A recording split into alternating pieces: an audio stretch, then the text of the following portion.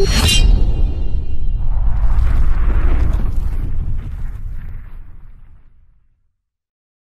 గురైనప్పుడు అలసిపోయినప్పుడు నిద్రావస్థలో ఉన్నప్పుడు తలనొప్పి ఇతర అనారోగ్యం బారిన పడినప్పుడు సాధారణ పరిస్థితుల్లో ప్రతి ఒక్కరూ టీ తాగుతూ ఉంటారు.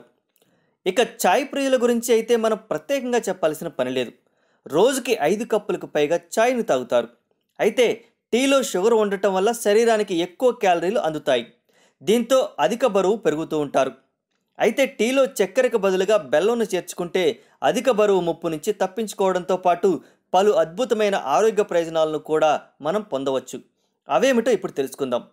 మలబద్ధకంతో బాధపడే వారికి బెల్లం ఎంతో మేలు చేస్తుంది. టీలో బెల్లంను చేర్చడం వల్ల జీర్ణ సమస్యలకు చెక్ పెట్టవచ్చు. జీర్ణ ప్రక్రియ వేగంగా జరుగుతుంది. బెల్లంలో ఉండే ఐరన్తో రక్తహీనత సమస్య నుంచి కూడా మనం బయటపడవచ్చు. దీంతో పాటు శరీరంలోని అవయవాలకు రక్త సరఫరా బాగా పెరుగుతుంది. అంతేకాకుండా బెల్లం కాలేయాన్ని శుభ్రపరిచి మలినాలను బయటకు పంపుతుంది. టీలో బెల్లంతో పాటు కొద్దిగా అల్లంను కూడా చేర్చుకుంటే శరీర రోగ నిరోధక శక్తి సైతం పెరుగుతుంది. జలుబు దగ్గు ఎలర్జీ ఫ్లూ లాంటివి తగ్గుతాయి. బెల్లంలో ఉండే యాంటీ ఆక్సిడెంట్లు మన శరీరంలో ఏర్పడే ఫ్రీ రాడికల్స్ చేసే నష్టాన్ని చాలా వరకు తగ్గిస్తాయి.